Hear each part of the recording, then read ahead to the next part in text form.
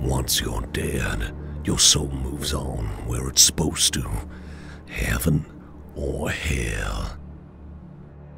At least that's what the preacher used to say on the rare days when he was sober. I reckon my twisted soul may stick around a little longer. Because there is nowhere to move on to anymore.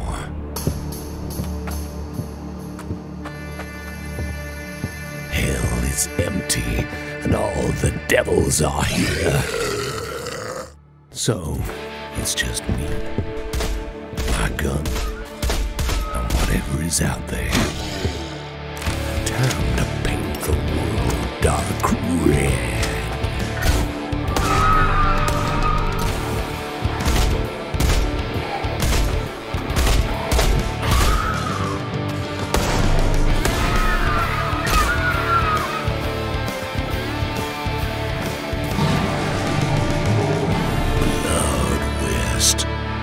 List now.